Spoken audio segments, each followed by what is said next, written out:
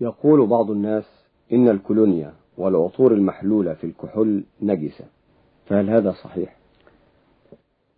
الحكم في استعمال الكولونيا والعطور المحلولة في الكحول متوقف على حكم الكحول نفسه هل هو ناجس أو طاهر وقد اختلفت أنظار العلماء فيه بناء على أنه من قبيل المسكرات كالخمر أو من قبيل المواد السامة أو شديدة الضرر. والكل متفقون على حرمة شربه فهو مسكر وكل مسكر خمر وكل خمر حرام والإسلام لا ضرر فيه ولا ضرار كما جاء في السنة النبوية.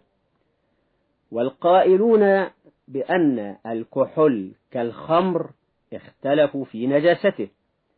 فالأئمة الأربعة على أن الخمر نجسة بدليل قوله تعالى يا أيها الذين آمنوا إنما الخمر والميسر والأنصاب والأزلام رجس من عمل الشيطان فاجتنبوه حيث قالوا إن الرجس هو النجس أو النجس أو المستقذر والخبيث وخالف في هذا الحكم الإمام ربيعة شيخ الإمام مالك والليث بن سعد والمزني صاحب الإمام الشافعي وبعض المتأخرين من العلماء فقالوا إن الخمر طاهرة مستدلين بأنها لما حرمت سكبت في طرق المدينة فلو كانت نجسة ما فعل الصحابة ذلك للنهي عن التخلي بالبول والغائط في الطرق.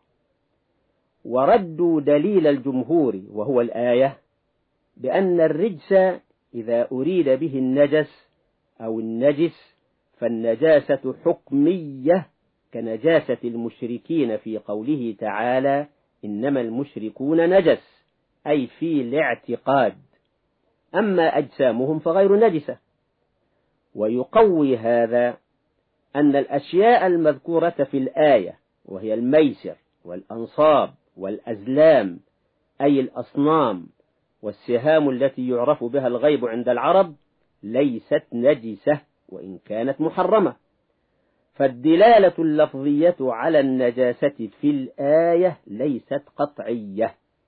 فالخلاصة أن الخمر نجسة عند الجمهور فيكون الكحول والعطور المحلولة فيه نجسة.